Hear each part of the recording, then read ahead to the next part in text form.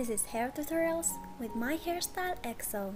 Before starting, I would really appreciate if you would subscribe my channel and click the thumbs up for this video. Thank you and welcome to the, my channel. I hope you will like what you see. In this tutorial, I will show you how to create this easy and quick updo hairstyle. First, you need to take small sections of hair from the both sides of your hair and tie them together on back with an elastic.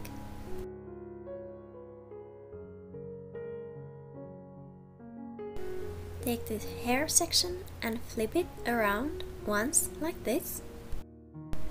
Then pull the hair out to create more volume. Then create another twist like this. Take the hair from both sides and secure that with an elastic.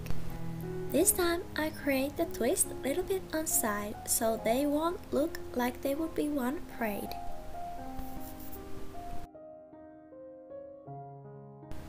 For the third twist, I take some hair between the two before and from the another side. Place a twist again so it won't be directly below two others.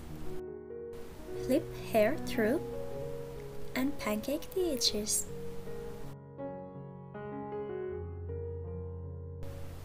Next, I will create the fishtail braid of the rest of my hair.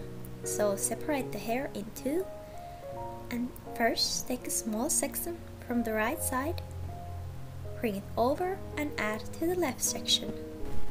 Next take a smaller hair section from the left side, bring it over and add to the right section. Take the small piece from the right side, bring it over and add to the left section. Take a piece from the left, bring it over and add to the right section. Take a piece from the right, bring it over and add to the left section. Take a section from the left, bring it over and add to the right. Keep on repeating this pattern.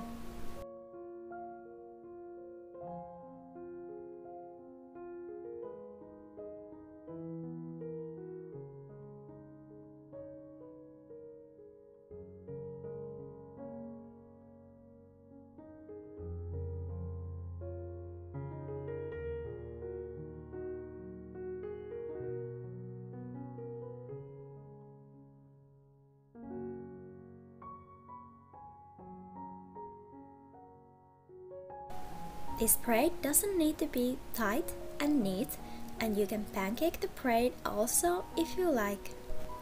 The more bigger braid you have, the more bigger the updo will be. So if you want some volume for the final result, pancake the braid.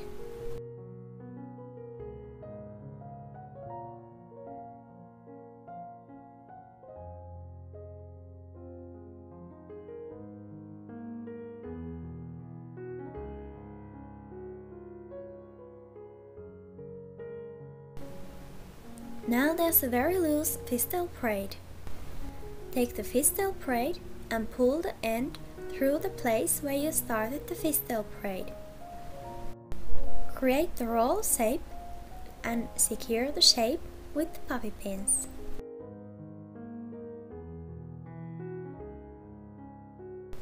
Next, take the end of the fishtail braid and create the similar shape size of the bigger one.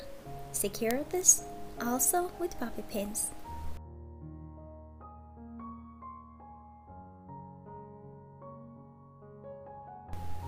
And here's the final result.